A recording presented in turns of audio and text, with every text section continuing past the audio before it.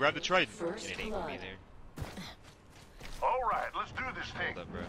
I mean, shouldn't I be the safest person to do it since I can literally fly? I think he's dead, actually, now that I think about it, he's dead.